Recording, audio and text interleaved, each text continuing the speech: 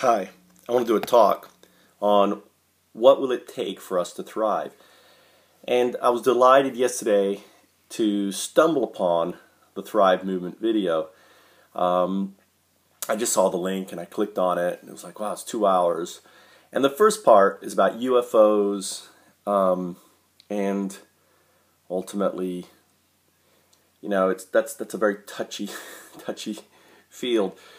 But how I feel about UFOs, it's out of our control. If they exist, if they've got this tremendous power, then it's up to them to contact us, not us to contact them, right? The ball's in their court. So why worry about that when, if they do exist, there's nothing we can do unless they want to do it, right?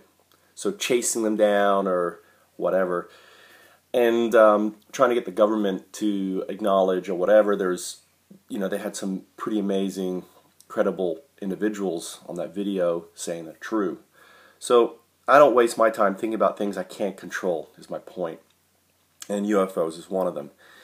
So what can we control? Well, the second part of the video is all about what the reality is, and the reality is that what I've been saying all along is pretty much what uh, Foster has said and others are saying is that basically a, a, a very small elite group of Wall Street banks are controlling everything.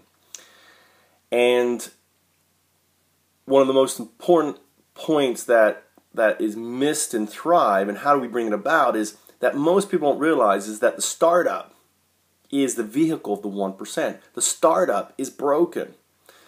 The startup basically launches ideas that change the world. Okay? Ideas that change the world. How they do that is basically they've accessed their capital networks. So it's a monopoly by Wall Street banks and their funding sources, right? Or their funding sources, the Wall Street banks, in order to, to control innovation. Innovation that ultimately defines the world. So, for example, if we want free energy, then we need to have corporations that are not tied to the 1%, are not tied to big oil, are not tied to these, to, tied to these banks. And how do we do that? Well, the open innovation framework that I've invented, that I spent the last three years creating, does that. And ultimately, how it does it is a couple things. One is it launches companies that either becomes part of us, FoundUps, kind of like how YouTube is part of, you know, um, Google, right? It's independent. It's a what's known as a qualified subcorporation.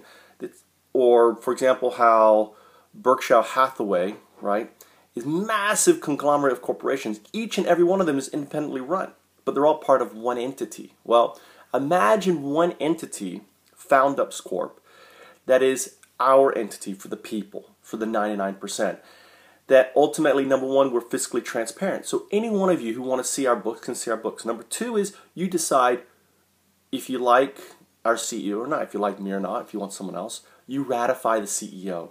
And that happens every four every four years based on the mandate of the of the articles. Number three is we are carbon negative, which means we do not affect the planet. We help the planet. We're taking away CO2. And we even treat the planet as one of our stakeholders.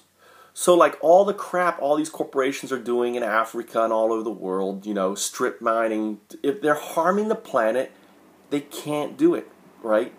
We're mandated to help the planet, right? So, open corporations won't affect the planet. We will, we will um, heal the planet.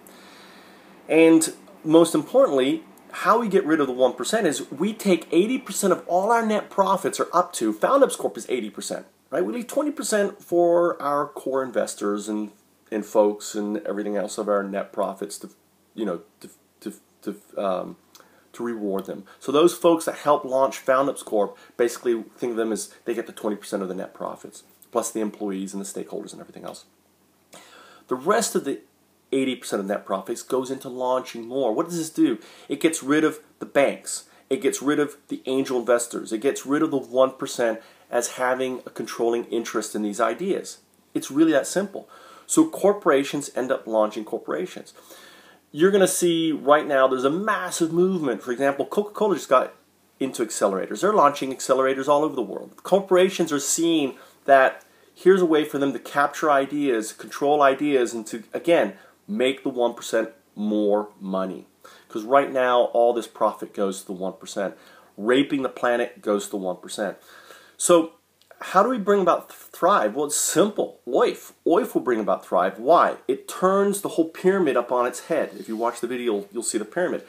All of a sudden, the greater stakeholders, which is the 99%, is my term for the greater stakeholders, is the planet and the 99% of the, is the planet and its population. Okay, even the 1% can be part of the greater stakeholders.